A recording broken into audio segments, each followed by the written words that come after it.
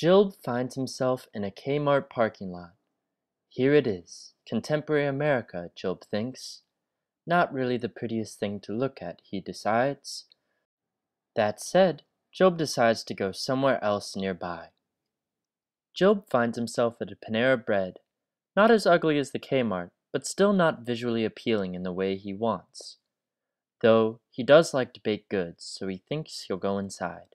There, he meets Ron Shantz, founder of Panera Bread.